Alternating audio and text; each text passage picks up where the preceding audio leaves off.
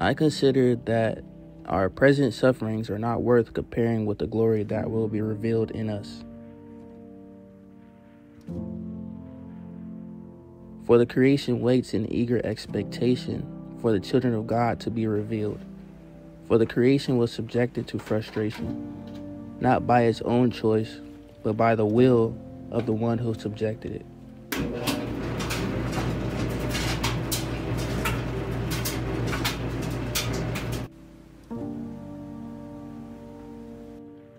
In hope that the creation itself will be liberated from its bondage to decay and brought into the freedom and glory of the children of God.